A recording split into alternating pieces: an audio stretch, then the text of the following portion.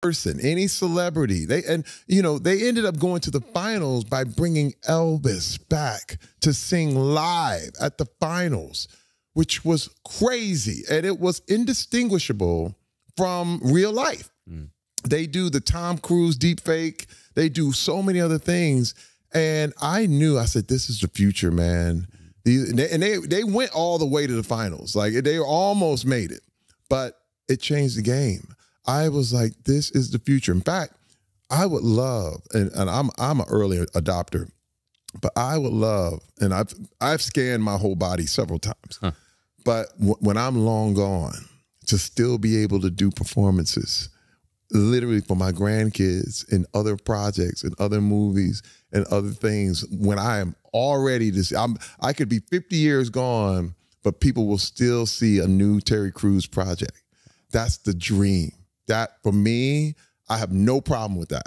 You know what I mean? Go ahead, you got it. Um, and these guys with this technology and what AI has done, I I've already invested in stuff. Um, we actually have a full fledged uh, digital copy of Carnegie Hall that I teamed up with this group called Virtual Worlds, and we went and we scanned Carnegie Hall for the future.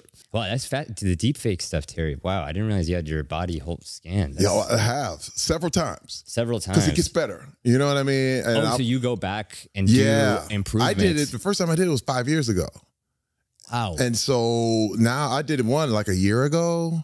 And so now, you know, and even now I, I got my face scanned just literally a week ago to so to add facial hair and all this stuff. So it's the technology is getting better and better and better. I remember early on in my time in Hollywood, everyone said digital will never replace film. You have to, I was, my early movies were on film. Mm. And everyone was like, nope, digital will never make it. You know, hey, and it's Kodak Theater. It will always be the Kodak Theater until Kodak was gone.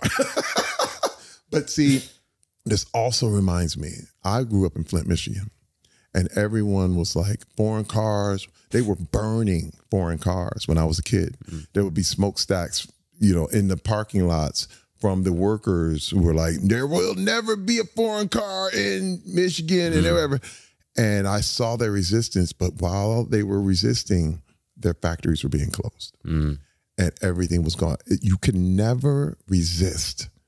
One thing you have to find ways to to to to go along with the future. Mm.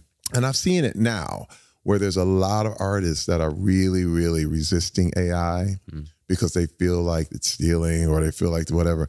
But I t- creativity can never be replaced as long as you put you in it. Mm. You know what I mean? Like a computer can never replace you. It can mm. only enhance you. Mm. Um, and that's my mindset. I think that once I'll never forget when film went to digital, it never went back. Mm. Never. We're filming digitally right now. You know what I'm saying? So uh it's wild. I don't have to take my film to get developed unless yeah. it was some sort of art project. Right. But I think the same thing with AI. I think we can't really resist it. And what's wonderful about Metaphysic. I'm still friends with those guys. They just worked on Tom Hanks' latest movie. Wait till you see them de-age Tom. It's inc- dude, it's indistinguishable. You were like, how did they do this? They it was like Tom at 20. Hmm. This is crazy. It's never going anywhere. Hmm. You can't resist it because look at what we can do. It actually opened up hmm. projects for Tom Hanks. It's opening up projects for people. They did the same thing with uh, Harrison Ford. Hmm. You know what I'm saying? So it's opening up the fact that man, you de-age people. It allows them to give you know, performances that they wouldn't have been able to do. Totally. Until this technology comes out. So I am an early adopter. I embrace it. Um, you know, hopefully my pecs will pop uh, in, in artificial intelligence.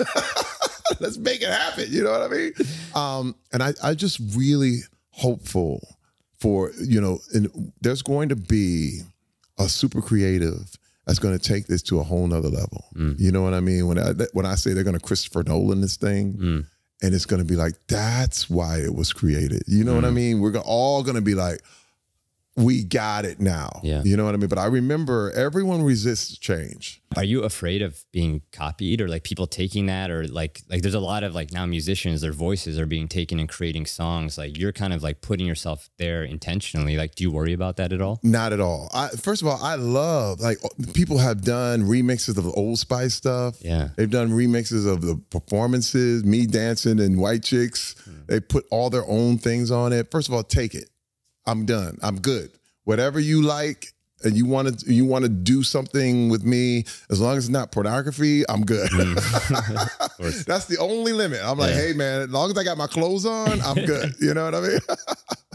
I think I, I, again, I think that you know, as long as I'm alive, I, one thing that's great about that Drake song that Yeah. just came out, he said, I didn't do it. Hmm.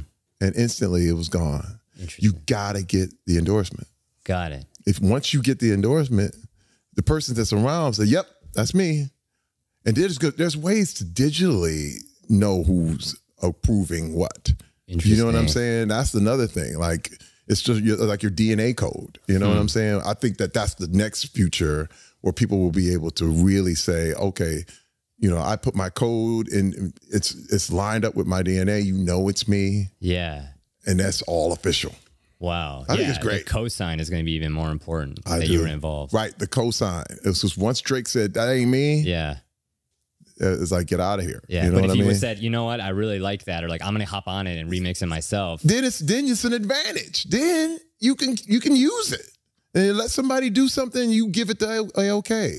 Wow. That's a cool way to work, man. You know what I mean? Like you, it's still your voice. Yeah. So why don't we work together? It reminds me of the early days of YouTube, like people chopping up videos and ideas being more crowdsourced. But Yeah. then somebody could take and be like, let's Think about it with the TikToks where people are sharing, like they split it in half. Yeah, yeah, yeah. And, and just watch you looking at another video. It works, man. It still goes viral.